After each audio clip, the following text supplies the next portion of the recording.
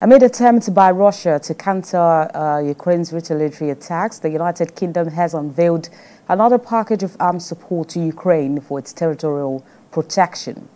Let's see what this package is in our next report. President Zelensky says more military aid is needed to drive Russian forces off Ukraine, especially in the country's eastern Donetsk region.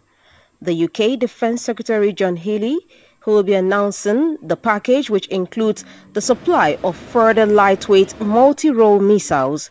Mr. Healey says ahead of the summit that the new UK package would give an important boost to Ukraine's air defenses and clearly show the government's commitment towards stepping up its support for Ukraine. Ukraine says it will investigate what seems like an apparent execution of its surrendering soldiers by Russian troops, which were viewed in drone videos.